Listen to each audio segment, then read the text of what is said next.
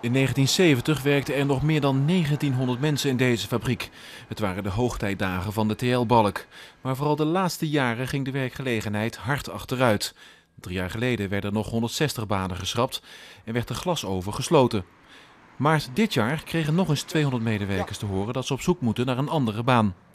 Dat Philips de fabriek nu helemaal gaat sluiten, komt voor veel personeel niet onverwacht. Alleen de datum, eind 2015, is nieuw. Nou, we zien het al jaren aankomen, hè, want uh, iedere keer gaan er groepen naar het buitenland. Nou, dit is heel slecht uh, voor Roosendaal. Ja. Dus... Bent u geschrokken van het nieuws?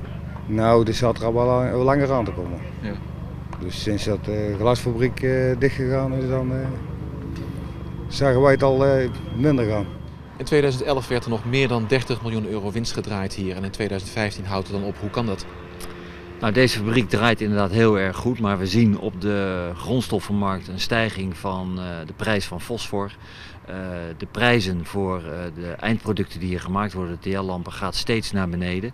Dus ja, we moeten wel concurrerend zijn en je moet uiteindelijk wel winst kunnen maken om een fabriek draaiende te houden. De banen worden in drie stappen geschrapt. Vakbond FNV Bondgenoten heeft een ruime ontslagregeling met Philips afgesproken, waarin het personeel wordt geholpen bij het zoeken naar ander werk. Mensen gaan in plukjes gaan ze hier Roosendaal verlaten.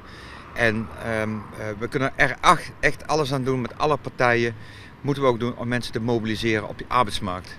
De regio, dit zijn vakmensen, die kunnen wat en die verdienen een plekje op de arbeidsmarkt. In de Tweede Kamer wil een meerderheid de ontslagregelingen in Nederland gaan versoberen. Philips garandeert dat deze maatregelen geen gevolgen zullen hebben voor de medewerkers in Roosendaal. Wat nu is afgesproken is afgesproken en dat geldt tot einde van 2015.